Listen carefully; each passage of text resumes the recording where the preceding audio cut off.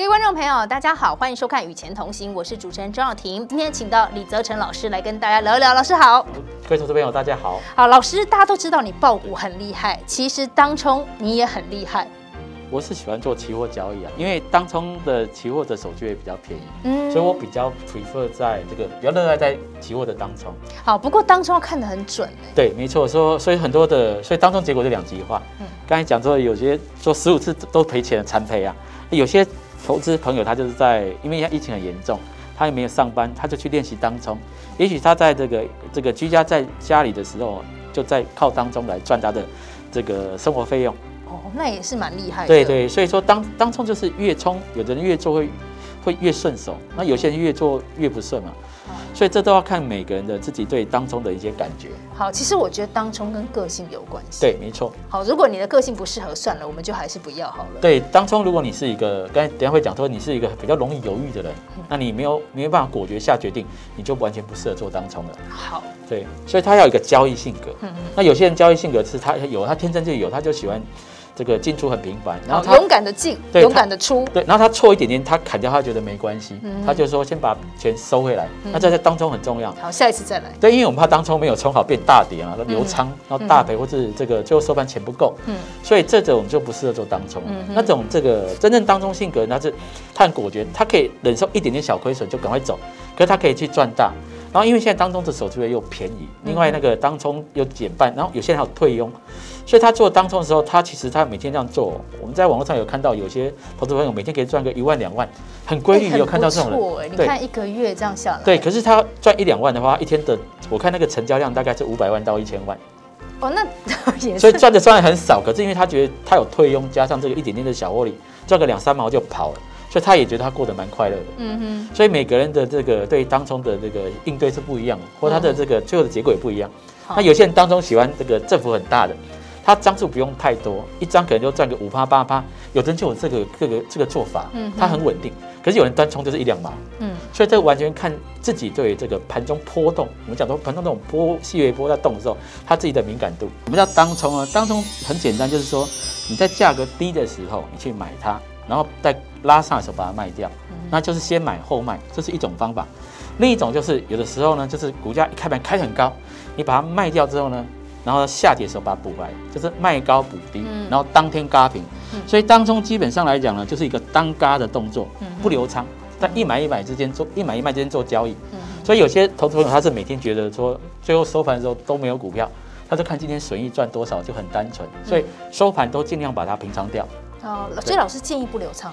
因为当冲的目的是不留仓，那我们比较忌讳的就是说，你当冲变赔钱留仓，那就失去当冲的目的了。当冲就是希望今天收盘的时候，所有的股票都结清了，然后看今天的损益。那如果流仓，就是你要承担明天涨跌的风险了。是。那通常我会流仓，都是这个一般投资人不是赚钱流仓，都是赔钱的时候流仓。对。对，跟人家高有的高手流仓是他赚钱之后呢，他冲上去之后本来想当冲，对，可是。感觉会拉到涨停板，它就不冲了，变得流仓，搞不好就做一个大波段的持股了。所以高手在做当冲的流仓，跟这个散户做当冲流仓是完全大概是不同的情境。好，不一样的思维。对，高手流仓是因为我流仓对我未来的这个获利有帮助，对，所以他就留了。那散户一般流仓是因为没卖掉。套牢了，赔了。对，等明后天万一上来再处理。很多人玩当冲是因为我没有这么多现金嘛。对。但是要留仓的时候，哎，就更惨了。对，所以说留仓有时候就会就找没不够钱就违约交割啊，或者给亲戚朋友调钱。那就最近这种情形蛮多。对，心理压力就很大。对，因为越急反而会越做越做的越不好。好。对，所以我们在做当中的时候，都会跟这个投资朋友说，如果你真的做不顺的话，有压力，那就是你的当中在盘中的量太多了。也许你一次只能当冲三张，可是可是你冲了六张或十张，所以你要把量降一下。那心里一旦平和的话呢，你就比较客观会去看这个盘中的波动，该买还该卖。好，心平气和。对，就是过量了，因为太想赚钱，所以压得很重。听人家讲，当中要很大的量去玩 才赚多钱，其实不见得。对，要看你自己的心理承受度。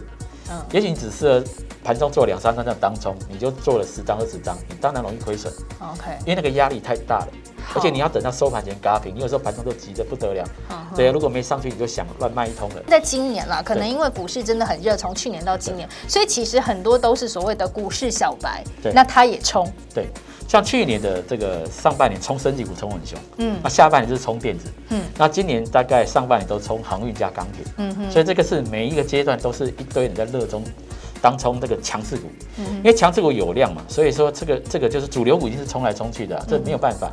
所以你看这个当冲的模式哦，你看主要市场上目前当冲有两种模式，第一个就是完全手中没有库存的人，他就是今天今日是今日币，所以今天买了就希望这个把它冲掉，不管是先买后卖，或是先卖后买，他就是手上没有库存做当冲。反正今天就结束。对，第二种就是手中有部位了。嗯，手中有部位的话，就是我今天手上有一档股票，嗯，那我明天来冲一冲，冲一冲。比如说我我有一张这个电子股，我明天就看说高我就卖，低就买，或者是这个低买高卖。嗯可是有时候低买高卖，卖完之后就被洗掉。嗯，对，所以当中有可能这个用库存来做，有可能被洗掉。OK，所以看我们在当中的话，两种模式，第一个是手中无无库存当中一一一种叫支线护底，就融资买进，融券卖出。嗯哼那一种叫做现股当冲，嗯，现股当冲就是手续费减半，所以目前大概是股票是两种当中模式。嗯哼。另外的话呢，那个刚才讲的说，有人做期货当冲，长隆赔了那么多次，他做期货当冲。另外还有做这个选择权当冲，嗯哼，所以这是目前主要当冲的这个这个几种几种模式啊。我其实坦白讲，多头市场确实当冲，你要真的冲得很差也不容易啊。哦，真的吗？对对对，就是就是基本上因为多头是理论上都是往上涨嘛，嗯哼，所以你真的很倒霉，就是说我们讲多头股票，假设多上通常十个交易日。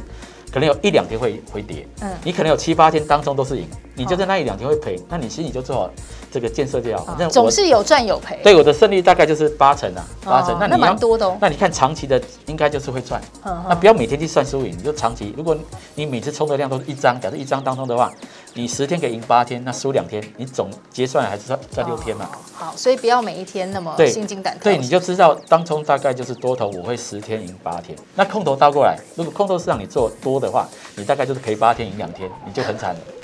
对。那当然，当中也是有它的优缺点，对对对，不对？没错，嗯嗯，像当冲的这个优点，第第一个几乎没有本钱，尤其我们知道现在的，因为去年台北台湾的这个经济，因为内需比较不好，嗯所以又又碰到今年的疫情，所以有些人基本上来讲呢，他就会想说，我我既然没有上班，没有工作，我可不可以去当冲？然后去上了很多的课，或看很多的这个网络文章，看人家怎么做当中来练看看。自学所以他几乎几乎没有本钱，因为就是嘎掉就好。其实有点买空卖空。对，开开信用，他不过他要先开信用交易户，开个融资融券户才能嘎掉。嗯嗯，所以第一个他的优点是几乎没有本钱。嗯嗯，第二个呢，反正我今天嘎掉，我也不管明天这个市场是大涨大跌，或是晚上每个股市会不会大跌啊，他就不用去承担这个隔夜的风险，嗯哼持有风险。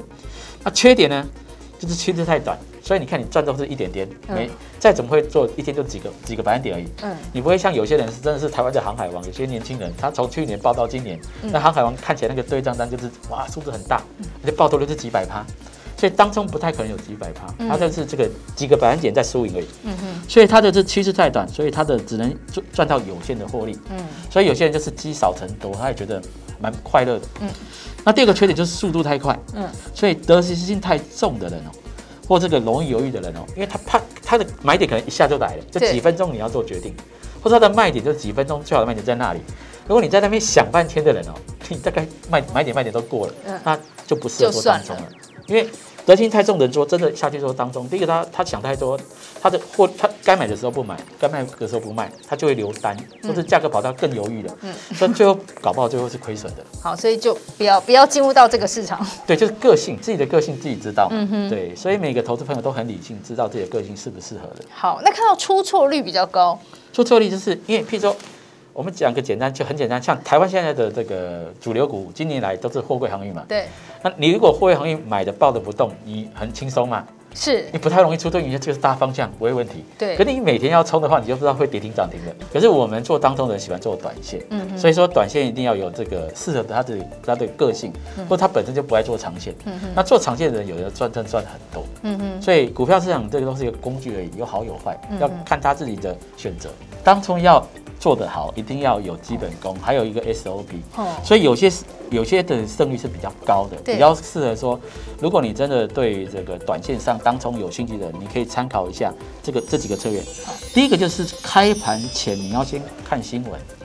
譬如说，像我们台湾喜欢人喜欢做这个航运类股，当冲刚才讲当冲量很大，嗯嗯，所以你开盘的时候你要看这个国际的新闻，像而且上网上去看那个像全球第一大航商马士基的收盘价，嗯还有第四大航商像我们台湾比较知道中远海空的收盘价，嗯，如果它是大涨的，隔天如果这个你要冲它的话，冲这些航货柜航运的股票，早上杀低的时候，你应该站在买方比较容易获利。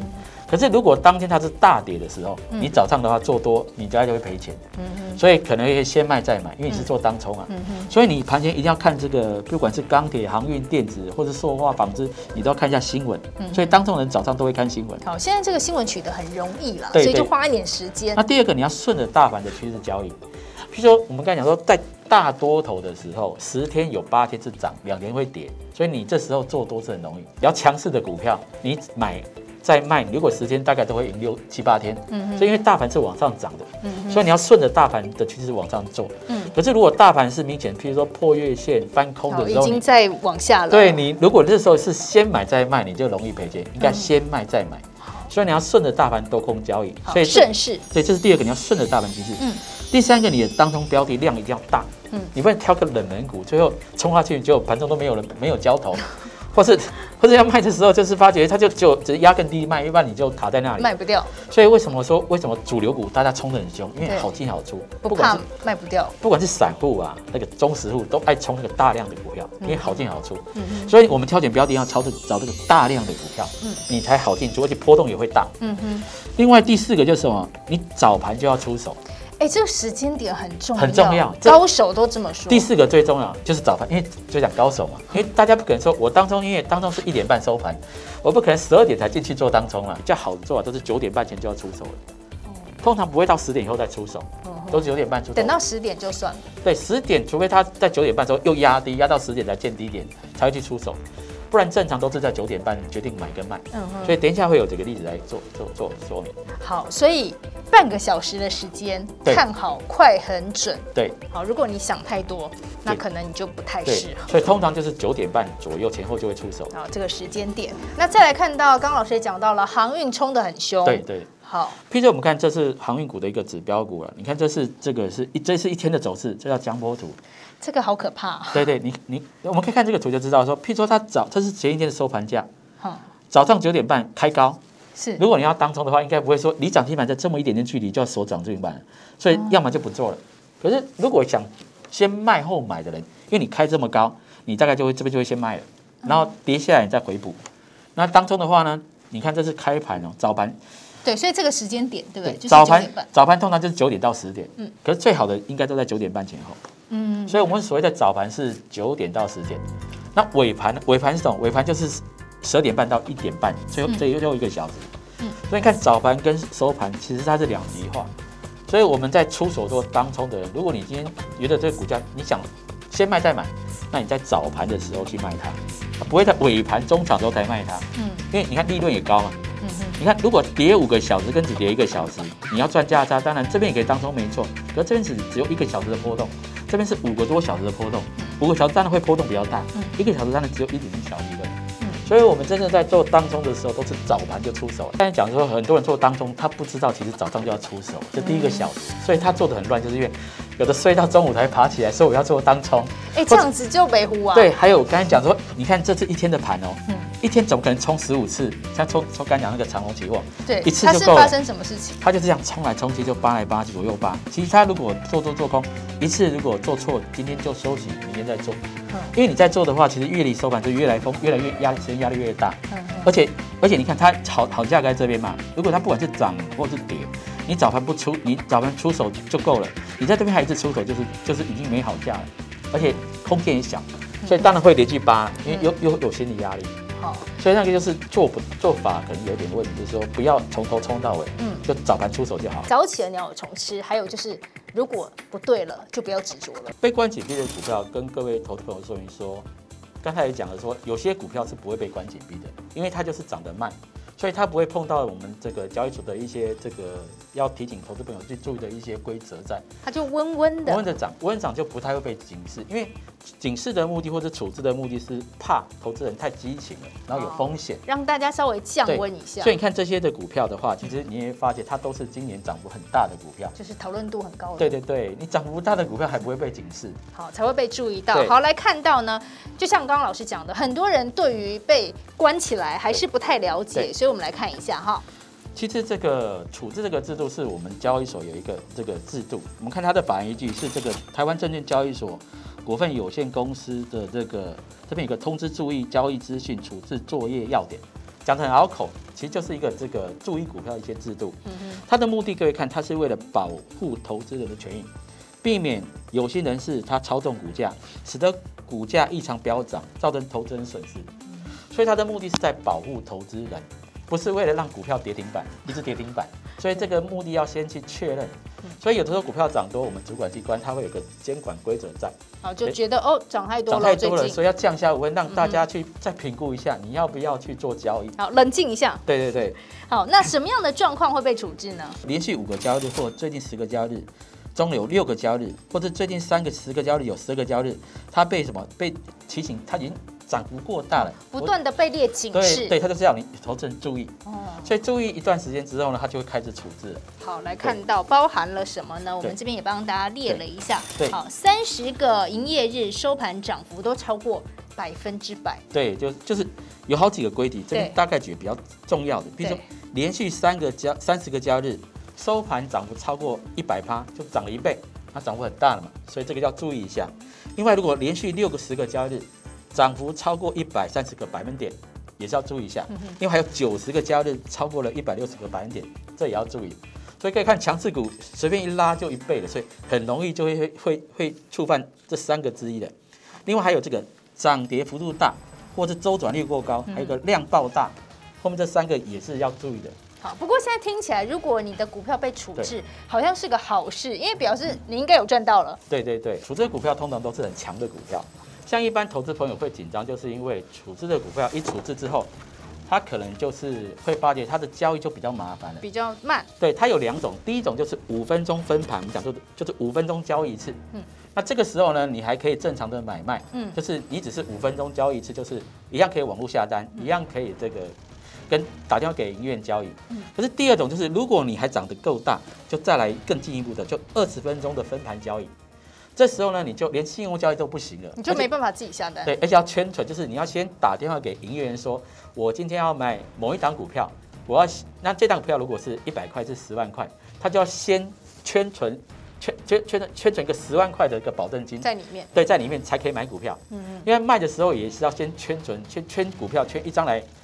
才可以卖掉，增加买卖的困难度。对对对，都要先打电话，所以二十分钟就很麻烦了。嗯嗯，而且它的这个量都有限制，比如说一天不能买几张都有限制。嗯，所以很多的这个一般市场比较喜欢做短线的人，一看到这个处置规定，就到处置一开始，他就想卖股票了。哦，因为他想做当中，对他钱卡住了。嗯哼，对。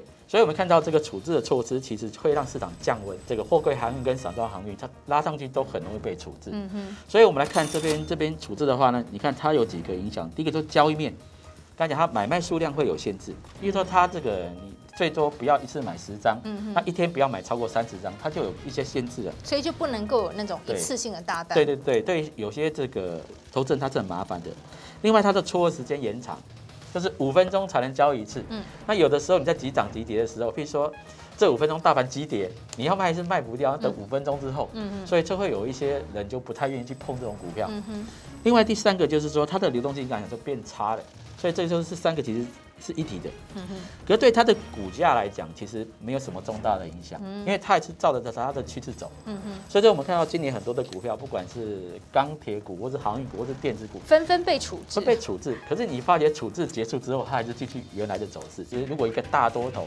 其其实被处置股票一箩筐，不是只有这几只而已。嗯嗯。每天我们看那个交易所的资讯，被处置股票都是十几档起跳。哦，但大家可能比较热的这几档，所以你只有关注到这几档。对对对对，像是钢铁，老师提到今年也处置蛮多。对，钢铁也被处置过，像年初的时候，像这个铜的铜的这个股个个股嘛，嗯哼，另外还有这个热压的都有被处置掉，所以说处置其实它也是一直涨，嗯哼，一直涨。好，那在看完了航海王之外，再来看到还有被处置的呢，华指，华指前一阵真的也是涨很多，对，涨很凶，对，所以看这档股票是华指嘛，你看它就是处置五分钟而已，它就不像这么严重。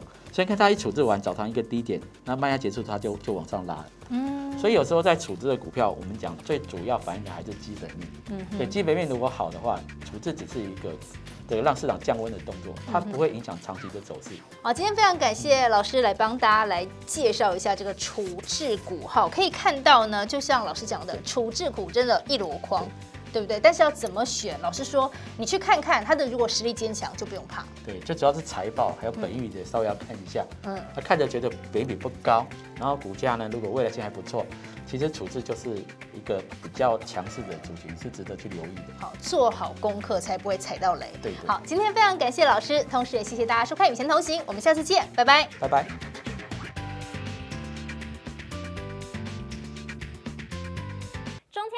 要上线喽！房价会涨还是跌？该不该出手？台股该进场还是卖出呢？基金、外币、黄金、比特币如何买卖赚钱？怎么玩车最酷炫？购车保养要注意什么？最厉害的专家群上阵，还有防弹少年团、飙风直摔车手，二零二一全新登场！记得订阅 YouTube 中天财经频道，有 CPI 小金地图样的，帮我们按赞、分享、开启小铃铛哦。